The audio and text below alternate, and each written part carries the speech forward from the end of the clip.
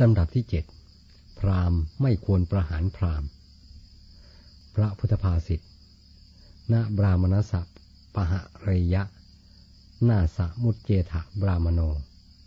ทิบรามณสะหันตารัง ตโตลิตโตทิยสะมุนจติ นางบราม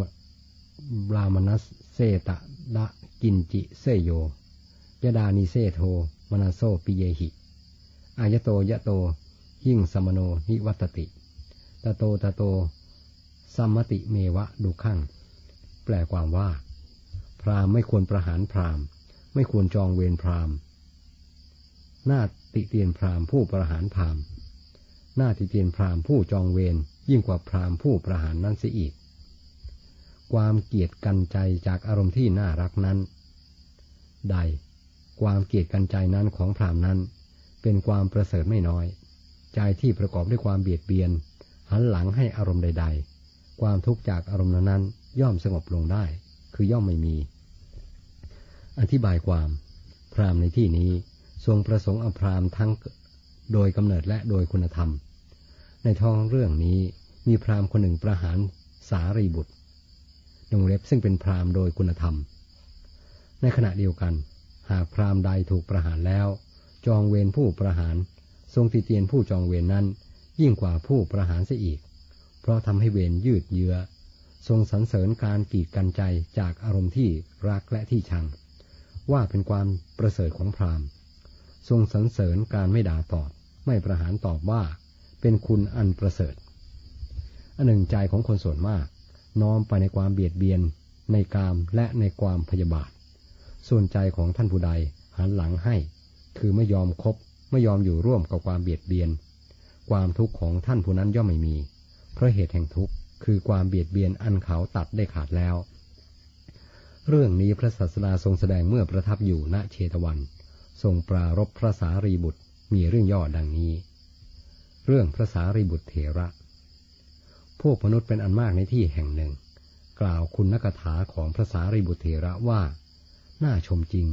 ระคุณเจ้าของเราอุดมด้วยขันติธรรม ไม่โกรธแม้คนอื่นด่าก็ตาม ประหารก็ตาม พระมิจฉาทิฏฐิคนหนึ่งฟังแล้วกล่าวแย้งว่า ที่ท่านไม่โกรธเห็นจะเป็นเพราะไม่มีใครยั่วให้ท่านโกรธประมัง หาไม่ได้เลย มนุษย์ทั้งหลายตอบ แม้ใครด่าหรือประหารท่าน ท่านก็หาโกรธไม่ เราจะทดลองดู พรามว่า เชิญเถิด เมื่อเห็นพระสารีบุตรออกบินทบาท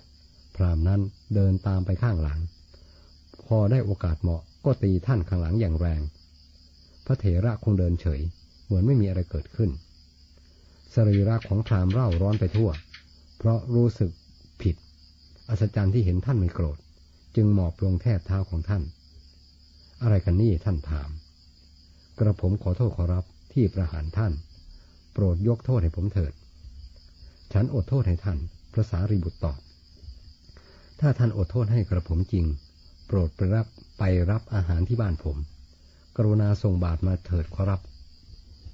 พระเถระรับนิมนต์ส่งบาตรให้ พราหมณ์ถือบาตร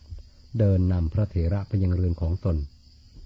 พวกมนุษย์ที่เห็นเหตุการณ์ โกรธพราหมณ์ว่าตีพระเถระ จึงต้องการแก้แค้นแทนพระเถระ โดยจะฆ่าพราหมณ์เสีย ชวนกันไปแอบอยู่ที่ซุ้มประตูบ้านพราหมณ์ เมื่อพระเถระและพราหมณ์มาถึง จึงขอร้องให้พระสารีบุตรรับบาตรของท่านคืนไป พวกเขาจะประหารพราหมณ์ให้สมกับความแค้น พราหมณ์นี้ประหารท่านทั้งหลาย หรือประหารเราพระเถระถาม ประหารท่านขอรับ เขาได้ขอขมาแล้ว ฉันได้ให้อภัยแล้ว ท่านทั้งหลายจงกลับกันเสียเถิด พวกพิสุทั้งหลายรู้เรื่องนี้เข้า ได้ตีเตียนพระสารีบุตรเถระว่า อะไรกัน พระสารีบุตรถูกพรามประหารแล้ว ยังนั่งรับภิกษาในเรือนของเขาอีกจำเดิมแต่นี้ไป พรามนั้นจะได้ใจไม่มีความละอาย หรือความเกรงกลัว คงจะประหารภิกษุทั้งหลายเป็นแน่แท้ พระศาสดาเสด็จมาทราบเรื่องที่ภิกษุสนทนากันแล้วตรัสว่า เมื่อพราหมณ์ผู้เป็นสมณะ ถูกพราหมณ์ครือหัดประหารแล้ว พราหมณ์สมณะย่อมไม่โกรธ เพราะความโกรธนั้นเขาถอนขึ้นแล้วด้วยอนาคามิมัก ดังนี้แล้วตรัสต่อไปว่า พราหมณ์ไม่ควรประหารพราหมณ์เป็นอาทิ มีนัยยะดังพรรณนามาแล้วแต่ต้นลำดับที่แปดผู้สำรวมด้วยฐานะสามพระพุทธภาษิตยสากาเยนะวาจายะ มนาซานาทิลุกกตัง สร้างวุตังตีหิ ท่าเนหิ ตมหังบรูมิบรามนัง แปลความว่า ความชั่วทางกาย วาจา ใจของผู้ใดไม่มี เราเรียกบุคคลนั้นผู้สำรวมแล้วด้วยฐานะสามว่าเป็นพรามอธิบายความ กรรมอันมีโทษคือมีความทุกข์เป็นผลเป็นกำไร ยังสัตว์ให้ไปอบาย เรียกว่าความชั่วหนึ่งเล็บลุกตังจริงอย่างนั้น ความชั่วทุกอย่างย่อมมีทุกข์เป็นผลเป็นกำไรทั้งสิ้น แม้จะยังไม่ปรากฏในเบื้องต้น ก็ต้องปรากฏในเบื้องปลาย คนชั่วเห็นความชั่วเป็นขนมหวาน เมื่อความชั่วนั้นยังไม่ให้ผล แต่เมื่อใดความชั่วให้ผล เขาย่อมเดือดร้อน เดือดร้อนจริง ๆ ความเดือดร้อนเพราะกรรมชั่วให้ผลนั้น ไม่มีอะไรต้านทานหรือป้องกัน กรรมชั่วบุคคลทำได้สามทางคือ ทางกาย วาจา ใจ ผู้ใดไม่ทำชั่วทางกายวาจาใจ ผู้นั้นชื่อว่าสำรวมแล้วด้วยฐานด้วยฐานะทั้งสาม ระผู้มีพระภาคเรียกบุคคลเช่นนั้นว่าเป็นพรามเรื่องนี้พระศาสดาทรงแสดงเมื่อประทับอยู่ณเชตวัน ทรงปรารบพระนางมหาประชาบดีโคตมี มีเรื่องย่อดังนี้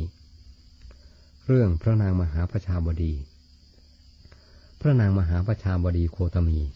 ได้อุปสมบทเป็นภิกษุณีด้วยการรับครุธรรมแปดประการจากพระศาสดาครุธรรมแปดนั้นได้แก่หนึ่งภิกษุณีแม้มีพรรษาตั้งร้อยก็ต้องเคารพภิกษุผู้บวชในวันนั้นสองต้องอยู่จำพรรษาในอาวาสที่มีภิกษุสามต้องถามวันอุโบสถ และไปรับโอวาทจากภิกษุทุกกึ่งเดือนสี่ออกพรรษาแล้วต้องปรณาในสงสองฝ่าย คือทั้งฝ่ายภิกษุและภิกษุณีห้าเมื่อต้องอาบัตหนัก ต้องประพฤติมานัดในสงสองฝ่าย เมื่อ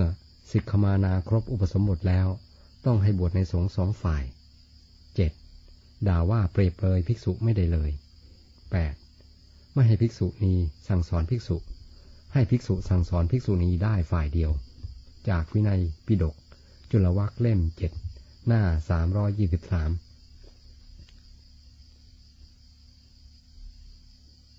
ขอย้อนกล่าวอีกนิดหนึ่งว่า เมื่อพระนางมหาประชาบดีโคตมี ได้อุปสมบทเป็นภิกษุณีด้วยการรับครุธรรมแปดประการจากพระศาสดา แล้วดีใจเหมือนบุคคลผู้ได้อาบน้ำชำระกายดีแล้ว ได้มาลายดอกไม้หอมมาประดับเสียน พระนางไม่ได้มีอุปชายะหรืออาจารย์อื่นใดเลย ก็ครุธรรมแปดประการนั่นเอง คือเงื่อนไขในการอุปสมบทของนาง โดยการอื่นอีกภิกษุณีทั้งหลาย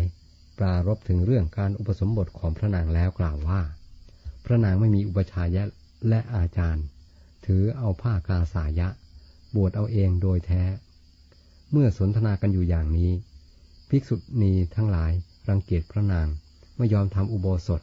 และปรณาร่วมกับพระนางเลย ภิกษุณีทั้งหลายนำความนั้นไปกราบทูลพระตถาคตเจ้า พระพุทธองค์ตรัสว่าครุธรรมแปดประการ เราให้แล้วแก่พระนางมหาประชาบดี เราเองเป็นอุปชายะและอาจารย์ของพระนาง ท่านทั้งหลายไม่ควรรังเกียจพระขีณาสพ เพราะพระขีณาสพไม่มีความชั่วทางกายวาจาใจ ดังนี้แล้วตรัสพระคาถาว่า